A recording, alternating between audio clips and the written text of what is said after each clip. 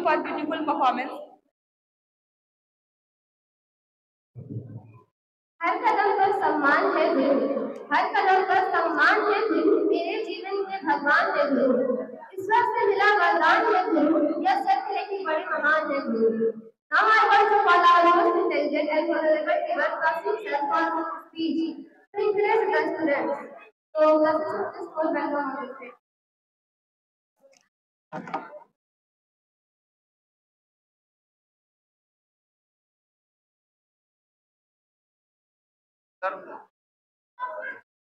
सर्वप्रथम यहाँ उपस्थित मैं अपने सभी देवतुल्य अतिथियों का हार्दिक हार्दिक स्वागत, अभिनंदन, वंदन एवं नमन करता हूँ। और साथ ही यहाँ उपस्थित सभी प्यारे बच्चों का स्वागत है ज़िले की पहली edtech company H D Y career institute में। भारतीय संस्कृत में हम कहते हैं अतिथि देवो भव। It means guest are like God यहाँ उपस्थित आप सभी अतिथियों को मैं अपनी चंद पंक्तियाँ समर्पित करता हूँ। सरल व्यक्तित्व में हमको खुदाई नूर दिखता है। मधुरवारी अगर सुन ले सुकून भरपूर मिलता है। रिश्ते थे कभी हमने सुना था। बात सच निकली, हमें तो आप में भी खुदा का नूर दिखता है। हमें तो आप में भी खुदा का नूर दिखता है। इस विशेष कार्यक्रम में आप सभी का स्वागत करते हुए मुझे बेहद खुशी महसूस हो रही है। आज आपकी उपस्थिति से हम वास्तव में सम्मानित महसूस कर रहे हैं।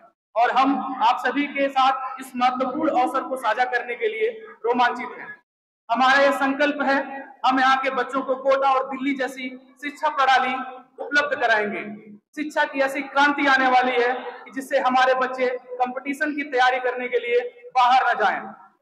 अगर अपने ऊपर पूर्ण भरोसा हो, संघर्ष करने की क्षमता हो, अपने लक्ष्य को पाने के लिए जुनून हो तो जगह मायने नहीं रखता इतिहास किसी भी जगह से लिखी जा सकती है, किसी भी जगह से रची जा सकती है। हम एक नया इतिहास सिस्मा की सरजमीन पर शुरू करने के लिए तैयार है। किसी ने सच ही कहा है कि खुद में तू इतना विश्वास पैदा कर, खुद में तू इतना विश्वास पैदा कर, गड़गड़ाती बिजलियों का आकाश पैदा कर। जमाना झुक जाएगा, तेरे कदमों में तू एक नया इतिहास पैदा कर।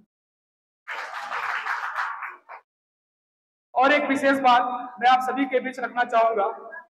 हमारा उद्देश्य यहाँ के बच्चों को उनके लक्ष्य तक पहुंचाना है।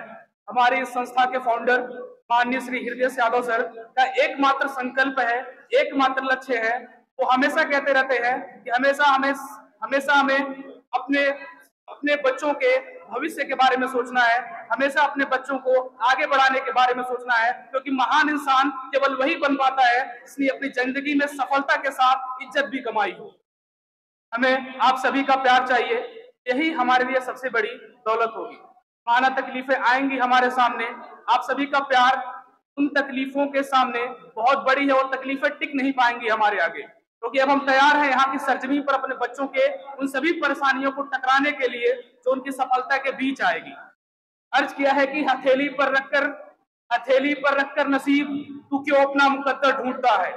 हथेली पर रखकर नसीब तू क्यों अपना मुकद्दर ढूंढता है? सीख उस समंदर से जो टकराने के लिए पत्थर ढूंढता है।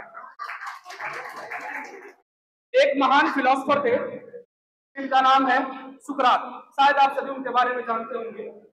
एक बार सुकरात के पास एक व्यक्ति आया और कहने लगा कि हमें सफलता का मंत्र बताइए। एक सफलता का सूत्र बताइए।